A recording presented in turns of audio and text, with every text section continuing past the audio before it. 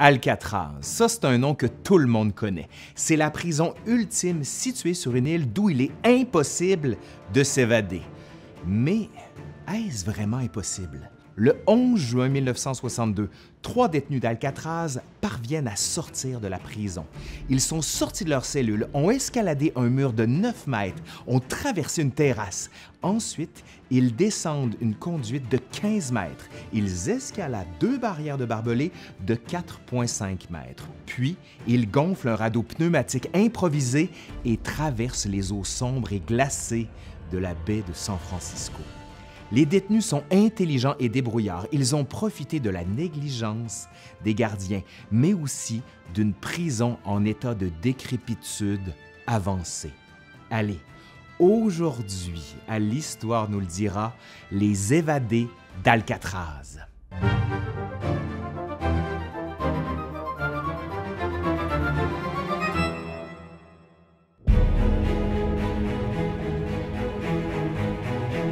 La prison d'Alcatraz fascine de nos jours. Près de 25 films hollywoodiens mettent en scène la fameuse prison. Chaque année, 1,4 million de touristes visitent Alcatraz. Il s'agit du deuxième lieu touristique le plus visité aux États-Unis après Disney World. Alcatraz est surnommé le Rocher, comme le film du même nom avec Sean Connery et Nicolas Cage. Pourquoi? Ben, parce qu'il y a juste de la roche sur cette île-là. Pour y faire pousser des plantes, les geôliers ont dû faire venir de la terre du continent, mais aussi de l'eau douce. C'est vous dire. L'île d'Alcatraz est située à 2 km de la côte californienne. Les prisonniers pouvaient voir San Francisco situé au sud de l'île. Une petite île, Angel Island, se trouve à 2,5 km au nord d'Alcatraz. Cependant, des courants puissants poussent vers l'ouest, du côté de l'océan Pacifique. C'est une des raisons qui va faire que l'île d'Alcatraz apparaît comme un lieu idéal pour y placer une prison. Même si les prisonniers arrivent à s'échapper de la prison, ils n'ont aucune chance de rejoindre la côte ou encore Angel Island. C'est du moins ce que pensaient les autorités américaines. Dans un premier temps, l'île d'Alcatraz est utilisée pour construire un fort. La Californie est annexée aux États-Unis en 1848. Le gouvernement y fait construire un phare rapidement, puis un fort durant les années 1850. Chaque fort de l'armée américaine comporte alors une prison pour placer les soldats qui sont désobéissants. Celle d'Alcatraz attire l'intérêt de l'état-major américain parce qu'il est impossible de s'évader de l'île, du moins c'est ce qu'on pense. D'autres forts vont donc y envoyer leurs prisonniers. Ce rôle de prison militaire se confirme au début du 20e siècle. En 1909, les prisonniers militaires détruisent la vieille prison. De 1910 à 1912, ils en construisent une nouvelle capable d'accueillir 600 personnes. Ces quatre bâtiments principaux demeurent les mêmes jusqu'à la fermeture de la prison en 1964. La prison militaire est la première chose que les touristes voient en arrivant à San Francisco. Mais la prison coûte cher à entretenir. Durant la Grande Dépression, le gouvernement américain cherche à économiser. L'armée veut se débarrasser d'une prison coûteuse. Le département de la justice va donc obtenir gratuitement la prison qu'il peut transformer en prison à sécurité maximale. Tout le monde est heureux. En 1933, des travaux de modernisation sont entrepris et la sécurité de la prison est augmentée. Deux bâtiments, les blocs A et D, sont jugés inadéquats pour accueillir des prisonniers. Les blocs B et C comprennent 336 cellules. Le bloc D est ensuite réhabilité et devient un bloc à haute sécurité. Il sert de bloc d'isolement et accueille des prisonniers jugés plus dangereux. Le bloc A est réhabilité en tant qu'entrepôt de la prison. Le seul autre changement majeur est la construction, durant les années 40, de nouveaux ateliers. Les prisonniers y travaillent et font différentes tâches. Vous allez voir, on va y revenir. Alcatraz est la prison la plus sécuritaire du gouvernement américain. Les prisonniers ne s'y retrouvent pas nécessairement pour la gravité des crimes qu'ils ont commis, mais parce qu'il y a un risque qu'ils s'évadent. Environ les deux tiers des prisonniers d'Alcatraz étaient jugés à risque justement de s'évader ou encore étaient d'anciens évadés. Plusieurs criminels de haut niveau passent par là, dont Al Capone et Machine Gun Kelly. Alcatraz a pour fonction d'accueillir des prisonniers dont les autres prisons ne veulent plus. Pour certains gardiens et administrateurs, c'était parfois la même chose aussi, malheureusement. Alcatraz a la réputation d'être la prison la plus dure des États-Unis. Mais comme pour la Bastille, faut dégager le mythe de la fiction. La prison se compare avantageusement par rapport aux autres prisons de l'époque. Alcatraz est propre et la nourriture y est relativement bonne. Ce n'est pas une prison qui est surpeuplée. Elle compte 260 prisonniers en moyenne pour 336 cellules. Il y avait donc toujours au moins 75 cellules de vide. Les prisonniers sont seuls dans leurs cellules. S'il est vrai que les détenus du bloc d'isolement sont pratiquement 24 heures sur 24 dans leurs cellules, il s'agit d'une minorité de prisonniers. Il est vrai aussi que durant les années 30, la discipline dans la prison était très dure. Les prisonniers acquièrent petit à petit différents privilèges. Ils peuvent pratiquer des sports dans la cour de la prison ou encore ils peuvent peinturer. La fin de semaine, ils peuvent jouer à la balle molle et regarder des films. Au début des années 1960, les détenus ne sont pas forcés d'être silencieux. Ils peuvent parler à voix basse quand ils sont dans leur cellule et écouter la radio. Une heure par jour, il leur est possible de jouer des instruments de musique dans leur cellule. Plusieurs détestent la cacophonie qui règne alors dans la prison. Retenez bien ça, ça va être assez important. Les prisonniers peuvent exercer des emplois dans la prison et travaillent six heures par jour. Ça leur donne un peu d'argent et ça les occupe. Au début de la décennie 1960, le bâtiment est en très mauvais état. Le sel de l'eau de l'océan dégrade le bâtiment de l'extérieur, mais l'intérieur aussi. Pour économiser, la prison utilise de l'eau salée dans les conduites d'eau qui alimentent les lavabos des prisonniers, mais aussi les douches et les toilettes. Sans surprise, l'eau salée corrode les tuyaux de la prison. En 1961 et 1962, ça va atteindre des niveaux catastrophiques. Des tuyaux éclatent régulièrement. La prison devient un vaste chantier, mais les fonds ne sont pas suffisants.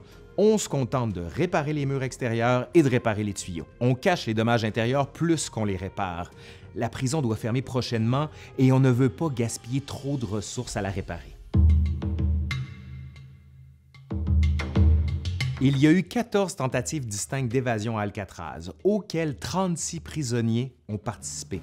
Parmi eux, 23 ont été repris, 6 ont été abattus et 2 se sont noyés. 5 sont disparus et présumés noyés.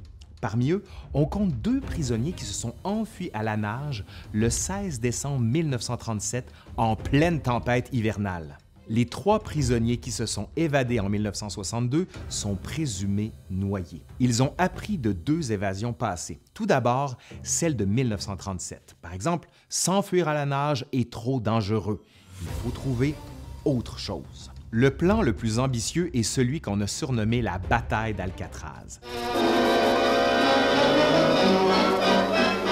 Alcatraz, The Rock, the mighty escape-proof jail in San Francisco Bay, en 1946, six prisonniers planifient de s'évader en prenant en otage des gardiens.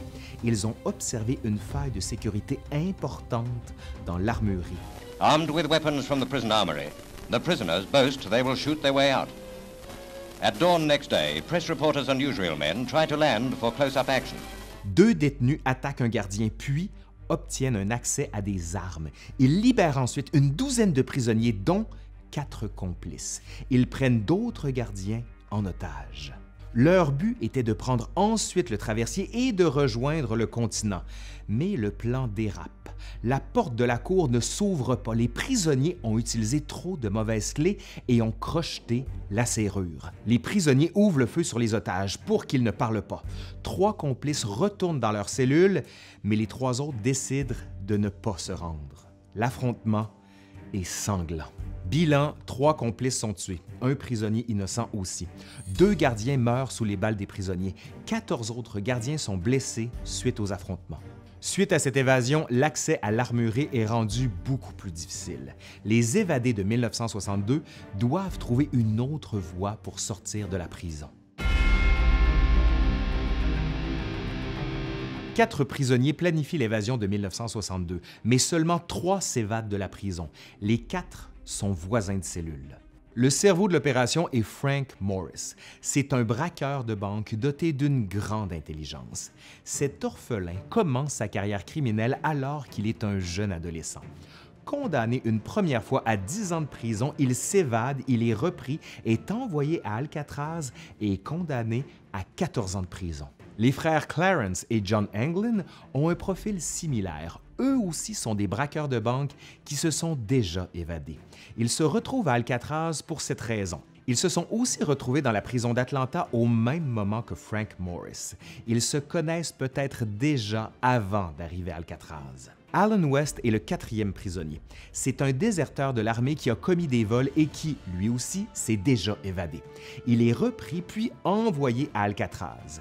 Il était en prison à Relford, en Floride, au même moment que John Anglin et a pu le connaître à ce moment-là. Pour des raisons qu'on comprendra plus tard, il est la source principale sur les plans d'évasion. Les quatre prisonniers sont voisins de cellule en décembre 1961. Ils commencent dès lors à échafauder un plan. Ils étudient le bâtiment attentivement. Derrière leur cellule, ils voient un corridor de service. Il est étroit et contient des tuyaux de plomberie et des conduits de chauffage. Il n'est pas gardé. Les quatre complices réalisent que s'ils peuvent s'y rendre, ils pourront accéder au comble du bâtiment. Ils espèrent ensuite pouvoir monter sur le toit. Ensuite, ils observent que le tuyau de sortie de la boulangerie descend jusqu'au sous-sol. S'ils le descendent, ils n'auront plus qu'à monter deux clôtures de barbelés pour atteindre la mer. Mais la première étape est de sortir de leur cellule. Ces quatre complices constatent la dégradation des murs. Ils volent des cuillères de la cantine et les aiguisent. Le béton est tellement érodé qu'ils parviennent à élargir les conduits d'aération qui débouchent sous les lavabos. Ils creusent pendant six mois, de 17h30 à 21h30 chaque jour. Ils profitent particulièrement du tumulte de l'heure où les détenus jouent de la musique pour creuser. Certains creusent pendant que les autres surveillent les allées et venues des gardiens avec des miroirs. Ils mettent les débris dans les toilettes ou les repoussent dans le corridor. Mais euh, comment cacher le trou? Ben, avec de la peinture. Au début, ils mettent un mélange de papier de toilette et de savon par-dessus un mur qui a été percé. Une fois que le trou était assez grand, ils le cachent avec de fausses grilles. Ils les fabriquent avec des boîtes de pipes peintes et trouées placées dans des canevas qui reprend les couleurs du mur. Ils peuvent obtenir pinceau et peinture car il est permis aux prisonniers de peindre. Morris et John Anglin finissent de creuser en premier. John creuse derrière la cellule de son frère Clarence et l'aide. West prend quant à lui du retard. Il décide de ne sortir qu'au dernier moment, le soir de l'évasion. Est-ce qu'il avait vraiment l'intention de s'évader? On va y revenir. Morris et les frères Anglin peuvent sortir de leur cellule et accéder au corridor de service. En escaladant, ils se rendent sur les combles du bâtiment et ils y aménagent un atelier. Pour ne pas se faire voir, Morris a obtenu la permission d'accrocher des couvertures au-dessus du bloc. Mais comment il peut avoir cette couverture-là? Ben, lui et d'autres prisonniers se plaignent que des morceaux de peinture tombent dans les cellules.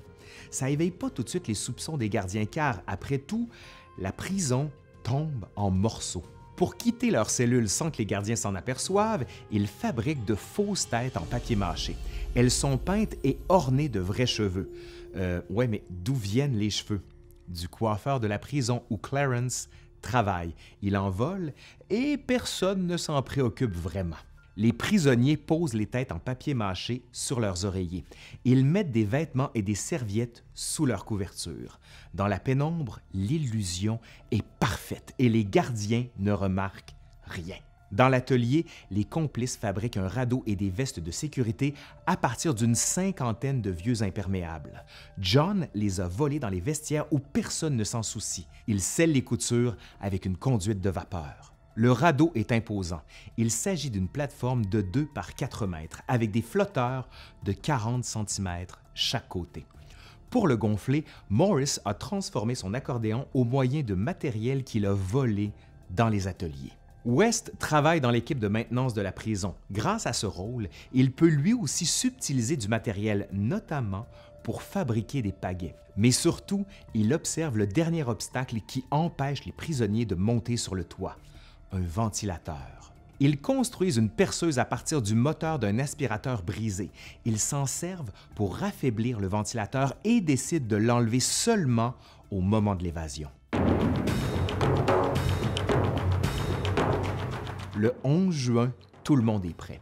Morris transporte les objets. Les frères England sortent peu après 21 heures. West ne parvient pas à sortir à temps, sa grille ne parvenant pas à s'enlever. Quelque part entre 22h et 22h30, il démonte le ventilateur. Il chute avec fracas. Les gardiens sont alertés, oui, bien sûr, mais comme ils n'entendent pas d'autre bruit, ils ne poussent pas plus loin leur recherche. Lorsque les prisonniers descendent le tuyau de la boulangerie, les gardiens entendent du bruit. Ils pensent que le bruit vient de l'hôpital. Ils y vont et attendent entre 30 et 40 minutes pour voir s'il y a un autre bruit. Personne n'est envoyé dehors patrouiller. Les prisonniers franchissent les barbelés et gonflent le radeau. Ils auraient quitté l'île vers 22 heures en direction d'Angel Island. L'évasion n'est constatée que le lendemain matin. À 7h25, les gardiens comptent les prisonniers avant le déjeuner. Les gardiens crient pour réveiller les frères Anglin et Morris. Puis, un gardien entre dans la cellule de Morris. Il secoue le lit, puis voit tomber la fausse tête. Il crie C'est une fausse tête C'est une fausse tête Même scène dans les cellules des frères Anglin. Les détenus se mettent à crier partout Ils sont partis Ils sont partis Ils sont partis les gardiens voient que les barreaux ne sont pas touchés. Ils se dirigent vers le corridor derrière les cellules et voient que les grilles d'aération ont été enlevées. West offre de collaborer dès le début. Il prend toute la responsabilité et raconte tous les détails de ce que les trois prisonniers ont fait.